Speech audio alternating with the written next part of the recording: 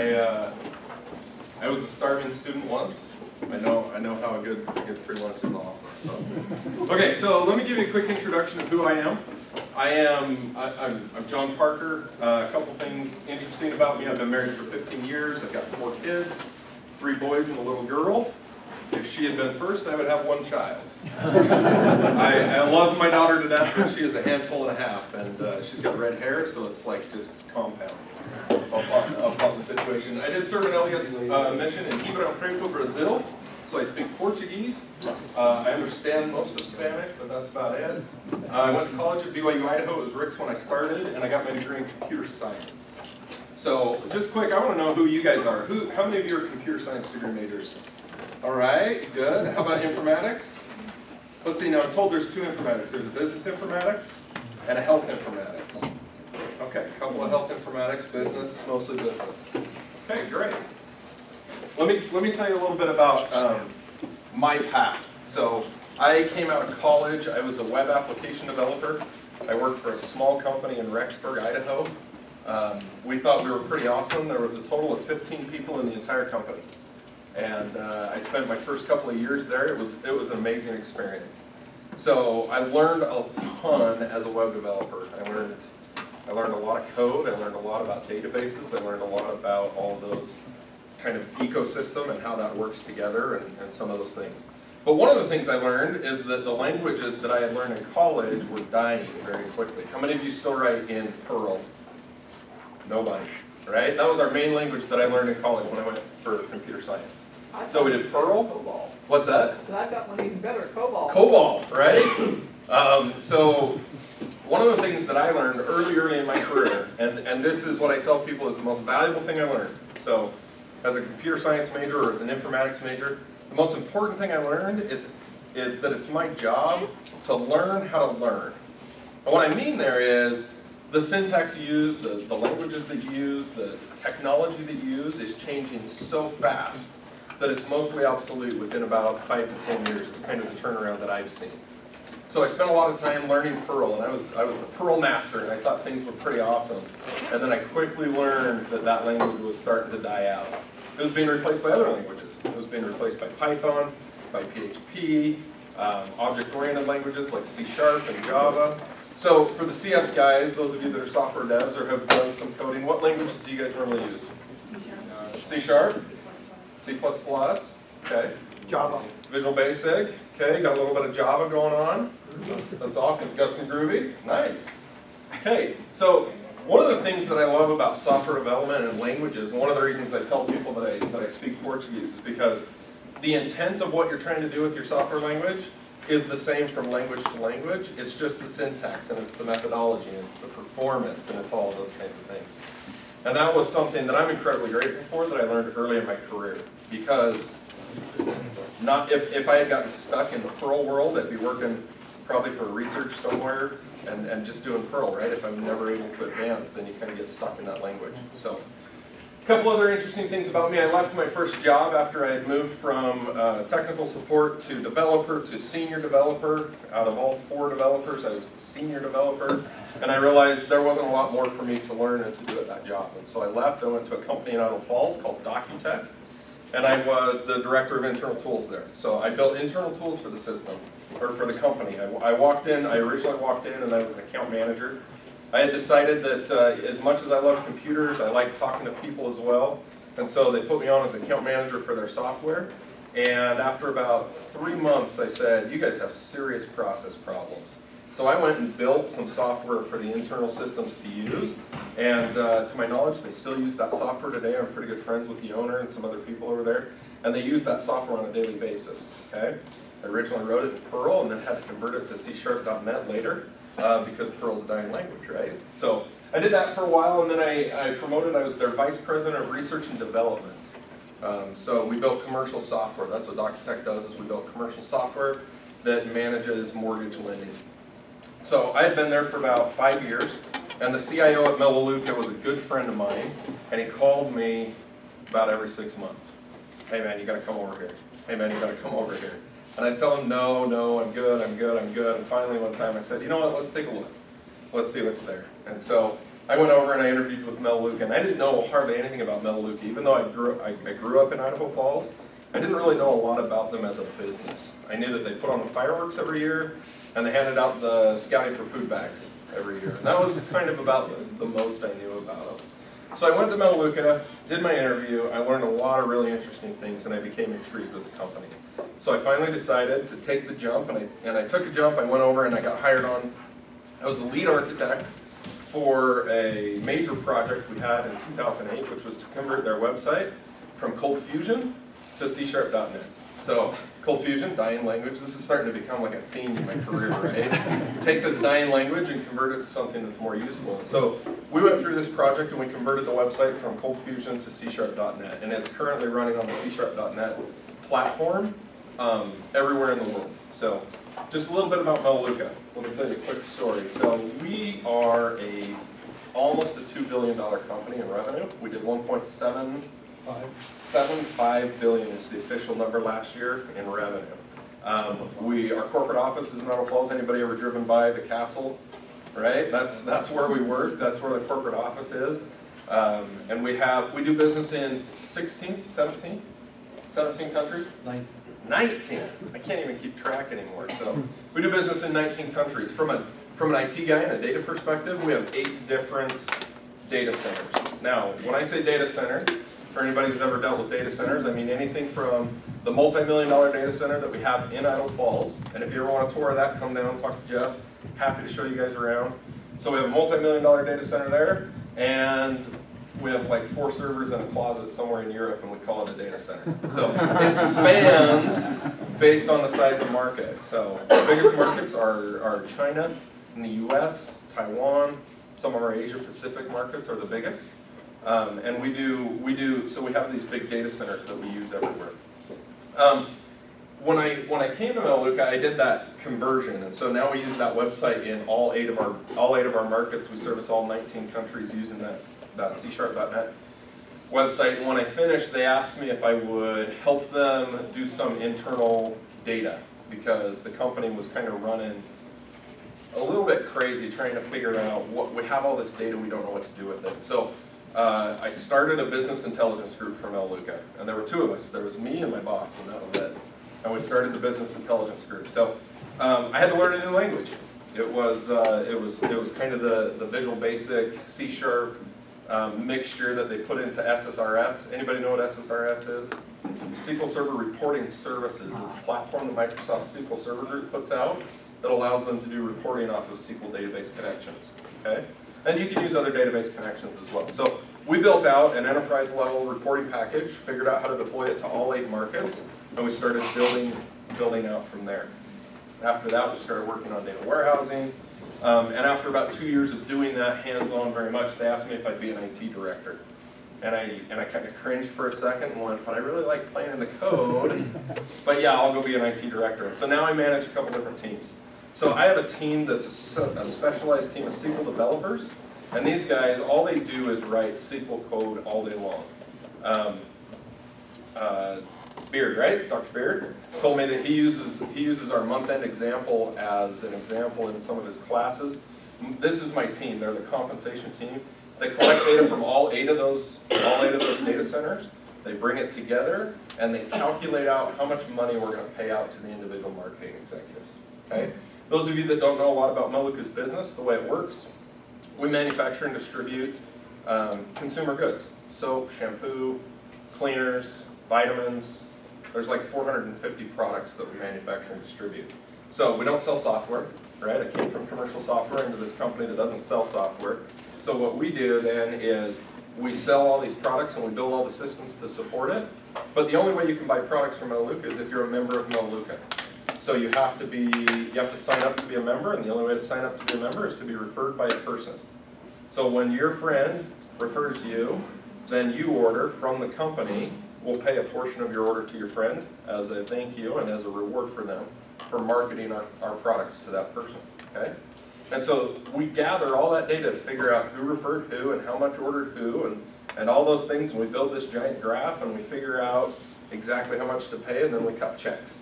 And uh, we just did it last week, we do it once a month, it takes us about four or five days to gather the data, audit the data, calculate, and then we recalculate two or three times, and then we cut checks. Um, we cut checks in the ballpark of over thirty million dollars a month off of that system. And so that's what one of my teams does, is just calculate all of that and all that data. I have another team that's heavily focused on our data and our business intelligence groups. And so we've got report writers that use the SSRS platform I talked about, and then we have guys that focus on data warehousing, okay? And we use the data warehousing methodologies, and then we have guys that focus on database administration. So database administration, those guys are heavily focused on making sure our databases are performant, they're up, they're backed up, we can restore it at any point in time, all of those things. So maybe you can share with them the size of our data warehouse and the databases. Yeah, for sure. So we move, I haven't checked for a while, it's, uh, we move about three terabytes of data around the world um, throughout the day. We use SQL replication and CDC to do that. And then our corporate data warehouse is pushing just over three, almost four terabytes right now. Um, each of our individual markets, I think China's about one and a half terabytes and the US is about one and a half terabytes. And then each of the markets scales on the size from there. And then we pull it all together and we build up the corporate data warehouse. So we do a lot of data movement. We work a lot with the sysadmin groups where we're moving data across the pipe and we have to have, uh, we have to have all these really interesting solutions to, to overcome some of the slow pipes and the redundancy and things like that. The, the pipe between us and China isn't always that stable. For some reason, it tends to fall apart once in a while, and uh, we have to figure out how to recover the data, how to make sure that we don't have holes and gaps and, and all of those things. Because in today's day and age, and I hear a lot of people ask me questions about big data and about you know data science and some of those kinds of things. In today's day and age, a company's real crown jewels is their data. It's, it's their intellectual property and it's their data. And uh, that's, that's really kind of what we're responsible for and what we focus on is all, is all of that stuff, okay? Um, let's see, I'm gonna jump through a couple slides here. Uh, I already talked about the growth of the company, so we're about 30 years old, 32 now, right? Pushing 32 years old. Uh, my slide's old, apparently I need to update it to 19 countries. This is a picture of our graph of our growth, and you can't see the scale here, but this is this is a couple years old. This was 1.2 billion dollars in sales, and our company just continues to grow and expand. Now we're doing it on a very purposeful front. We don't grow astronomically like we could, but we do grow very purposefully, and so we're looking to make those investments. What that means from an IT perspective is we're trying to look out the next three to five years and say, where's the company going to grow, and how are our systems going to expand to grow that appropriately? How is our database systems going to handle that kind of data? How is our software going to be able to hand that many, handle that many more orders or that many more uh, presentations or that many more enrollments? In IT, we say we have two, we have two core jobs. Our, our first job is to take orders and enrollments. We've got to make sure the cash register is still flowing.